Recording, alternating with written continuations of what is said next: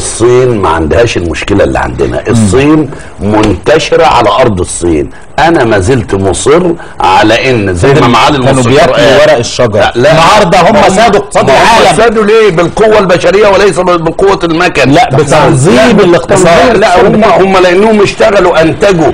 إحنا ما بننتجش لأن نص الشعب عايش في القاهرة واسكندرية والمنصورة والعواصم وسايبين يعني فكرة إن الحكومة لا أنا تتدخل في أنا الدعم. أنا, أنا شايف إن الحكومة آآ آآ اولا عايز أقول حاجة يعني بالطبيعة already النهارده بقى كل المثقفين في مصر أو حتى الفلاحين بيكتفي بولد أو اثنين أو أو ثلاثة أو أربعة على بقاش بقى. زي زمان. يعني ما عادش سبعة وثمانية وعشرة لأن احصاءات المركز القومي للاحصاء ما اختلفناش، ما إحنا أنت محمد بيه. 2011 كنت بتزيد مليون كل سنة 2012 بدأت تزيد تزيد السنة اللي فاتت 2017 زايد 2 آه بعد 2 مليون في 10 شهور 2 مليون وشوية. زايد 2 مليون في 10 شهور. اقوم اعمل إيه؟ بدل ما أقول للناس بطلوا تخلفوا انت عارف لو قلت بطلوا تخلفوا الناس هتخلف أكتر. خلي بالك إحنا شعب لا. بالقانون. إحنا لا قانون. إيه؟ مين اللي هي... لو أنا مش لا لا لا, لا, ابنك يا فندم. مين اللي هيعمل قانون يخليني ما أخلفش؟ مين؟ القانون. لا، خلي بس مش هصرف عليك، ماشي. بدعمك. ما تصرف وانت قعدت بتدعم ما إحنا ان شاء الله نشيل الدعم وهنخلص القصص دي.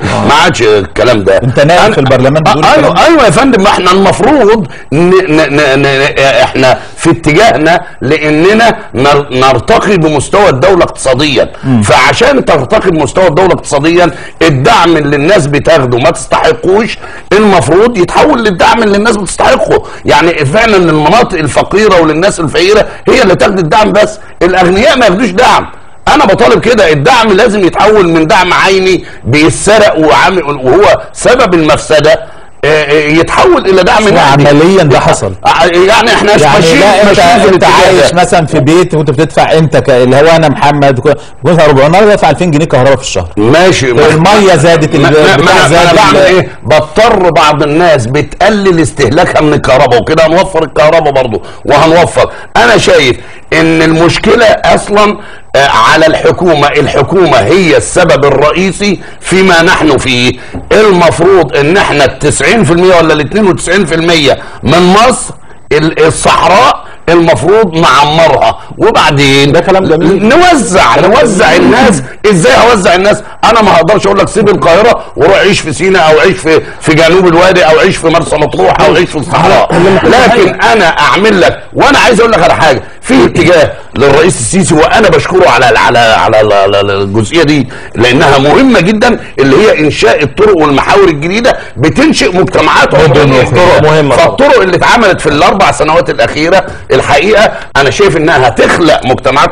القاهرة الجديدة مشروع يا سيادة النائب ده. مشروع إحنا العاصمة الإدارية إحنا الجديدة. دلوقتي مشاريع يا يا سيادة النائب أنا بيجي لي في المركز دلوقتي شاب لسه متجوز آه فدلوقتي بيقول لي يا دكتور أخلف كل سنة ولا كل سنتين ولا كل ثلاثة ولا أعمل إيه؟ ما لا لا لا. ثواني يا دكتور ثواني يا النائب هحدد- لا يا سياده النائب ما أظلمش الولد الولد لسه مش فاهم حاجة. بقول له أول حاجة أنت شغال إيه؟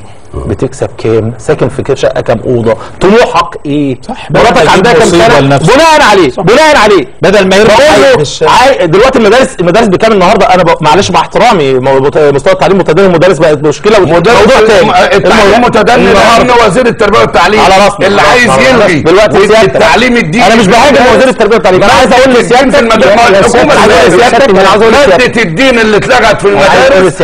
أنا أنا ضدها وأنا مع ان ال- التلميذ آه. في المرحله الابتدائيه على وجه التحديد لازم يدرس ماده الدين ويعرف دينه سواء الدين الاسلامي أو الدين المسيحي إحنا كده أنا